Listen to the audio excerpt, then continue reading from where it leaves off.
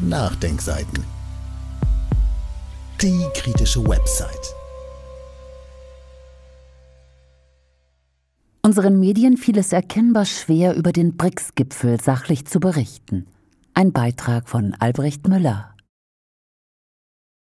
Die BRICS-Staaten haben sich in Russland getroffen. Auch der UN-Generalsekretär kam. Ein solches Ereignis könnte man ja selbst von westlicher Seite einigermaßen neugierig beobachten und sachlich darüber berichten. In unseren Medien gab es wieder mal die übliche Tendenzberichterstattung.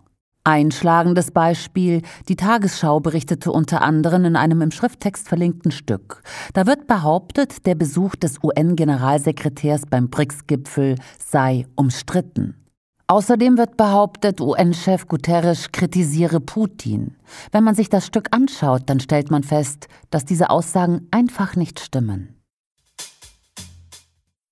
Ansonsten wird alles an Aggression in den kurzen Film gepackt. Man merkt der Berichterstattung an, dass es diesen speichelleckenden westlichen Medien grundsätzlich nicht passt, dass sich Staaten des Südens und des Ostens in einer eigenen, vom Westen unabhängigen Formation zusammenfinden.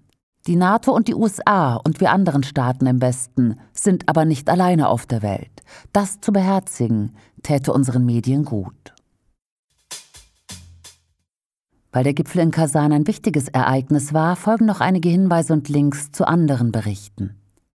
Nicht ganz so schlimm wie die Tagesschau von gestern, wenn auch mit überheblichen Zwischentönen, war ein Bericht des WDR bei WDR aktuell mit dem Titel BRICS-Gipfel in Russland. Das musst du über das Treffen wissen. Recht informativ, wenn auch mit Schlagseite, findet sich ein Beitrag vom ZDF heute live mit dem Titel BRICS-Gipfel. Wie mächtig ist das Bündnis gegen den Westen? Und eine Art Kontrastprogramm zum Ganzen, wie zu erwarten, fand sich bei der Weltwoche. Der Beitrag hieß Köppel in Kasan.